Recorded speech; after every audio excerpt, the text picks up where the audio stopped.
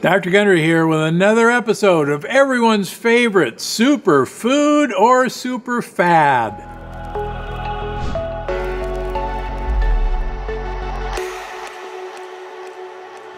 Super food or super fad. Today I want to talk about a smoothie bar favorite, a sweet treat that's the darling of the health blogger community. We're talking about acai.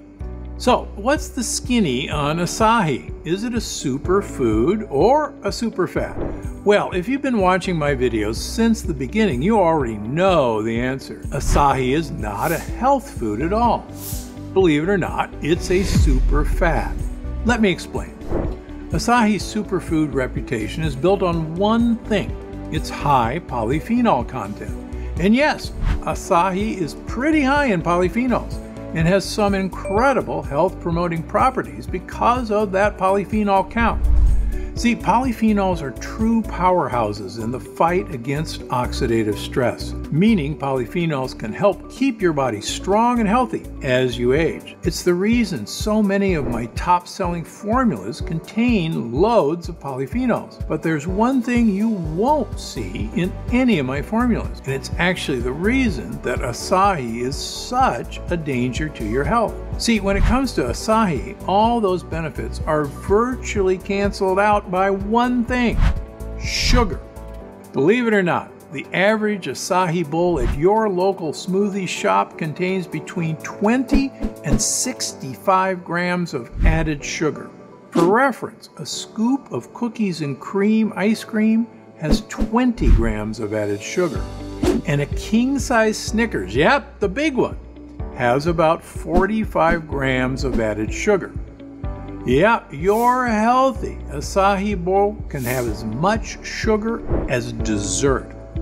And even with the polyphenols from acai trying to support your health, all that sugar can truly drag you down, leading to elevated cholesterol, liver issues, blood sugar trouble, weight gain, and more.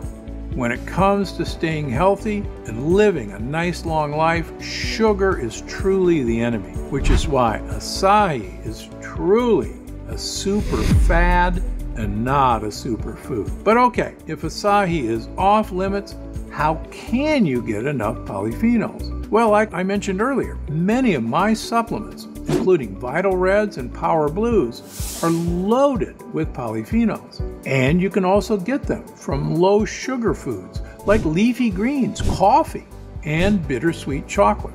Plus, in the summer, when berries are in season, they're a great source of polyphenols as well. Just make sure to treat any in season fruit like dessert and eat it in moderation.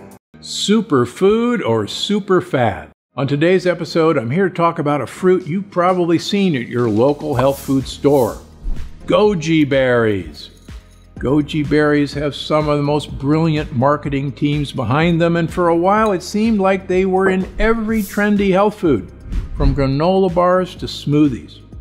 So you'd think they were a superfood, right? Wrong. In my opinion, goji berries are one of the biggest super fads out there. Here's why. For one, they're a member of the nightshade family, along with other gut upsetting foods like tomatoes and peppers. And like many nightshade fruits, goji berries, also known as wolfberries, are incredibly high in lectins. Now, if you've been around this channel for a while, you likely know what lectins are, but here's a quick reminder. Lectins are a pesky little protein found in certain plants, and they can do serious damage to your digestive system, leaving it weak and leaving you vulnerable to serious health issues.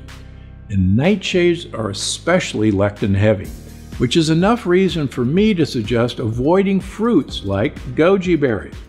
But if you want more reasons, they're also incredibly high in sugar, which is bad news for your waistline and they're rich in a compound called atropine. And consuming too much atropine could actually make you seriously ill. That's why, in my book, goji berries are actually one of the biggest health scams out there and a total super fad. If I were you, I'd avoid them. Superfood or super fad? In today's episode, I'm here to talk about everyone's favorite high protein grain, quinoa. So, what's the deal with quinoa? And is it a superfood or a superfad? Well, first, let's set the record straight. Quinoa isn't technically a grain at all, it's a seed. It's related to the amaranth plant and was originally from the Andes region of South America, where it's been eaten in various forms for thousands of years. And starting in the early 2000s, quinoa started to take the US by storm, showing up in health food stores and trendy restaurant menus all over the country. People loved it because quinoa is a filling, high protein food that's easy to cook and gluten free. So it's no wonder people went nuts for quinoa. But here's the thing about this super seed. In my opinion, despite all its benefits, quinoa isn't a superfood at all. It's a super fad. Here's why. Despite being gluten free, quinoa is still really high in lectins, those pesky little proteins that do serious damage to your gut wall and lining. Some quinoa is also super high in saponins, a lectin like substance that's been shown to seriously irritate the gut. It's mostly on the outside of the seed and is often washed off during processing. But people who are really super saponin sensitive will still have a hard time with quinoa. Quinoa is also an oxalate rich food. Now, I'm not going to say don't eat oxalate rich foods. Some of the healthiest foods on the planet, including leafy greens, are pretty oxalate heavy. But for people concerned about their oxalate intake, quinoa is a good food to avoid. Now, if that weren't enough to convince you that quinoa is not the superfood it's made out to be, here's one other thing. The native people who traditionally rely on quinoa as a dietary mainstay are having an increasingly hard time affording the crop because more and more of it is being sold to the US rather than being set aside for people who really need it. So, no matter how you slice it, unfortunately, quinoa is a super fad, not a superfood that food marketing companies make it out to be. Meaning, it's something that should stay off your plate and out of the kitchen cupboards. Superfood or super fad? And today I want to talk about a food that's showing up everywhere. I've even seen it sold as crispy snacks, as a creamy spread, even as pasta. I'm talking about chickpeas, also known as garbanzo beans. These beans have been a vegetarian staple for years, and they're really trendy right now. So, what's the story about chickpeas? Are they a superfood or a super fad?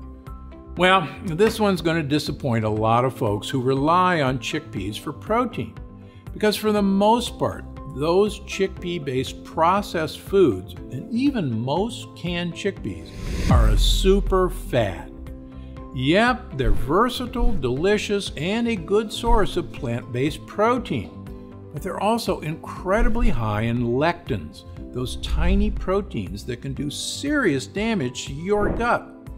I'll link to more information about lectins in my description below. Now, there is a workaround for the lectin content in chickpeas, and I'll talk more about that in a second. But first, I want to talk about why people consider chickpeas a superfood. I think you'll agree some of this is pretty compelling. Like many beans, chickpeas are high in protein and slow digesting fiber. That makes them optimal for keeping you filled up and satisfied, and for keeping digestion on point. They're also rich in minerals, including magnesium, iron, and folate. So if you do want to add chickpeas to your diet, can you do it safely? Absolutely. But like I said, skip the chickpea pasta, the crunchy garbanzo snacks, and store-bought hummus. Instead, soak dried chickpeas in two to three changes of water. Then pressure cook them it's a great way to neutralize the majority of the lectins. From there, go ahead and make hummus, or toss them in olive oil and roast them for a crispy snack. A pressure cooker is a great way to turn this super fad back into a super food safely. Your taste buds and your gut will thank you. One last thing. Make sure to let me know in the comments below what superfood you want to learn more about next. And don't forget to like this video if you've learned something new and subscribe for more food and health related tips and tricks. Because I'm Dr. Gundry and I'm always looking out for you.